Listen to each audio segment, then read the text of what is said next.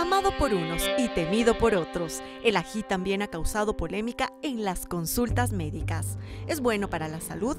¿Trae algún beneficio a nuestro cuerpo? ¿Todos podemos consumirlo? Ni la ciencia ha logrado escapar a su picor. Varios estudios científicos revelan qué sustancia lo hace tan intenso al paladar cómo esta influye en el nivel del picante y qué tan tolerable es para los seres humanos. Seguro todos conocemos a alguien que no tiene límites al momento de probarlo. Hoy queremos saber qué tan buena es la relación entre la salud y el ají.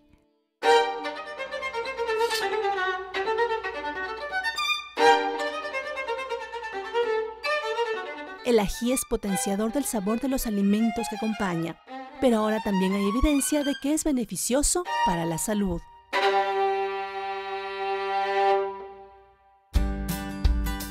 ¿Qué hace que unos lo amen y otros teman en el sabor del ají? Pues sin duda es su picor. Para descubrir dónde reside el poder de este alimento, basta ver en su interior. Allí se encuentra la placenta amarilla a la cual están pegadas las semillas. Es ahí donde está la capsaicina, el compuesto químico que genera irritación y estimula los receptores térmicos de la piel. La capsaicina se mide en la escala Scoville, nombrada por el farmacéutico que creó en 1912 un examen para identificar el grado de picor de los ajíes. Las unidades de Scoville o SHU se determinan contando el número de veces que se diluye una solución del extracto del chile en agua azucarada hasta que el picante ya no es detectado. A pesar de tener el color que en la naturaleza denota peligro, en términos de picor, el pimiento rojo es inofensivo. Tiene cero unidades de Scoville o SHU. El chile jalapeño es uno de los más consumidos en América y su picor llega a 3.500 SHU. El ají habanero 350.000 SHU, pero el que ostenta el título del más picante es el Carolina Reaper con 2.200.000 SHU. Actualmente en el mundo hay más de mil variedades de ají y antes de la pandemia visitamos el mercado Iñaquito para conocer algunas de ellas.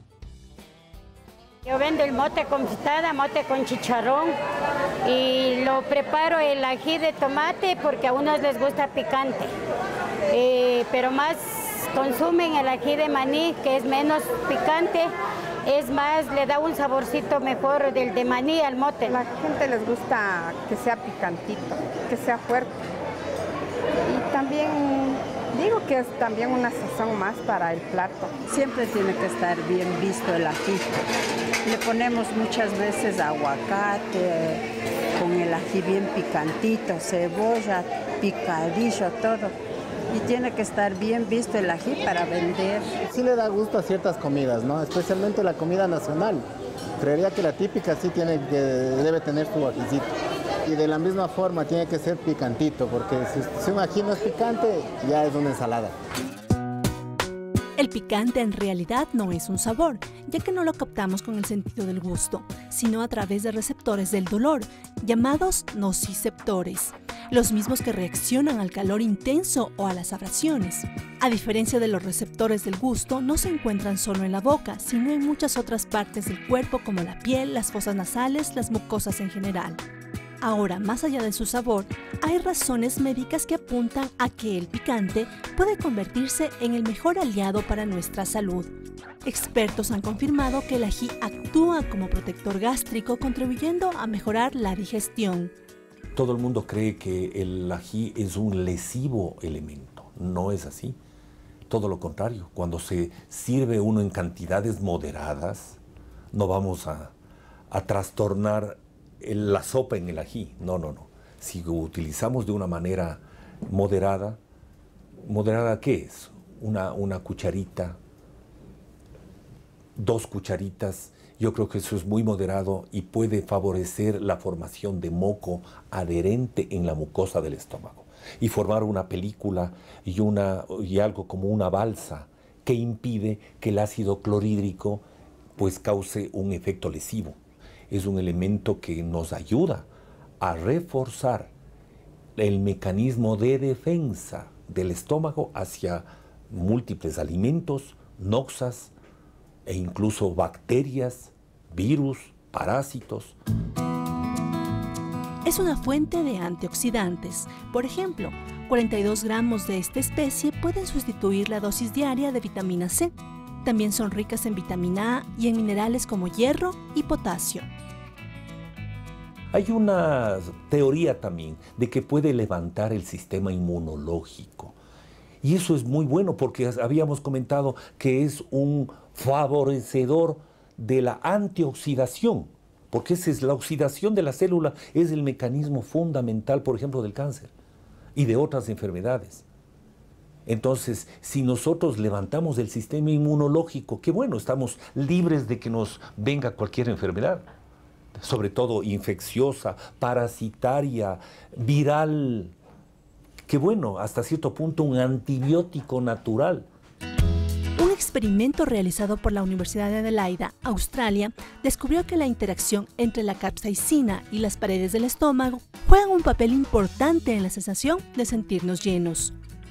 El ají hace que se active un efecto que se llama lipólisis. Esta lipólisis hace que la grasa que está acumulada se rompa ¿sí? en varios ácidos grasos, que es lo menor. Y estos ácidos grasos también se descomponen y pasan al ciclo de energía y se utilizan como fuente principal de energía.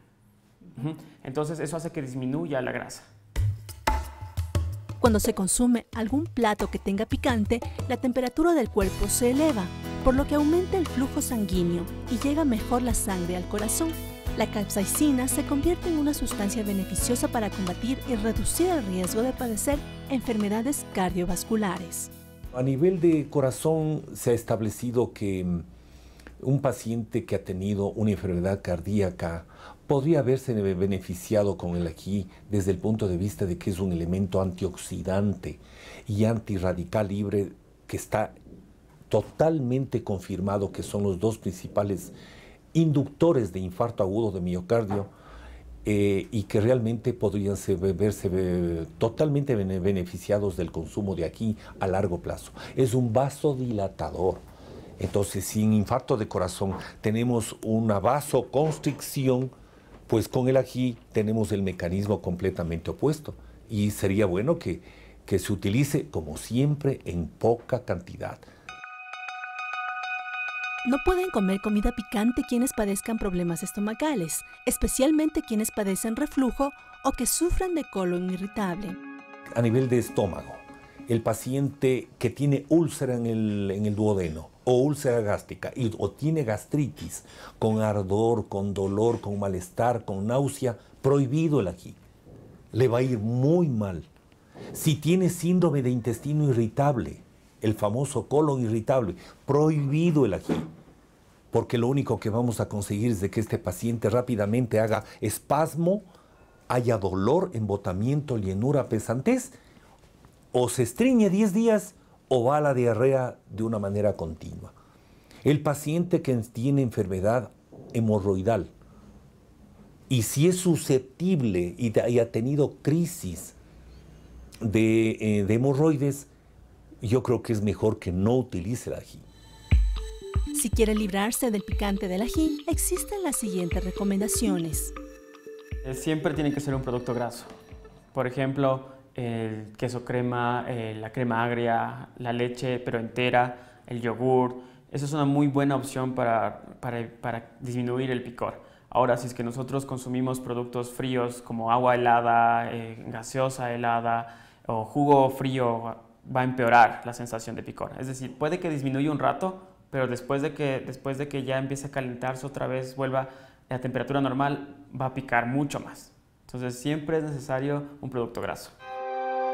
Durante dos años, la Universidad de las Américas realizó una investigación de 200 alimentos entre frutas, legumbres y tubérculos, a fin de identificar sus compuestos beneficiosos para la salud. Los resultados fueron sorprendentes con relación al ají. Estudiamos el ají cacique y el ají ratón, que son especies que se consumen habitualmente, sea en la sierra y en la costa.